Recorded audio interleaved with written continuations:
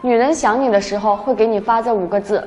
男人们是不是觉得成天不知道自家女人在想什么，想要什么也不直接和你说，完了还怪你不懂风情，日子越过越平淡，慢慢就觉得自家女人越来越无趣，失去了对你的吸引力，于是你的眼光就慢慢辐射到别的女人身上。男人会有这种想法，是因为不了解女人，不懂女人说的话是什么意思，或者说是不愿意花心思研究女人的脾气性格。女人的心思难猜吗？其实知道了女人说话套路，一切都可以迎刃而解。第一，还不回家吗？等于好想你啊。在你看来，女人的一句还不回家吗？是在查岗，其实不过是人家在家里寂寞了，希望你赶紧回家陪她。这是女人对你依赖的表现。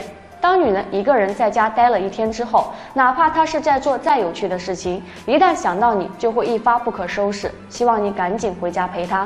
你尝试想想看，你的女朋友或者老婆舒舒服服地看着电视，突然失神，然后拿出手机，一点一点翻看你们以前一起拍过的照片，想给你打电话发微信。但是想到你还在上班，乖巧的女孩子不能影响老公上班，坐立不安，等到下班时间，迫不及待给你发微信，一句娇嗲的还不回家吗？下面就是一句人家想你了。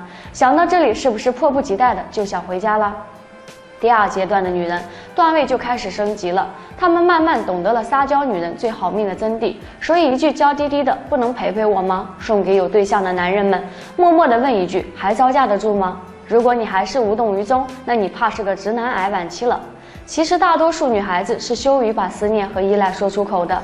当她们和你说不能陪陪我吗的时候，其实是真的需要你陪了。这个时候就请你展现展现自己的男友力好吗？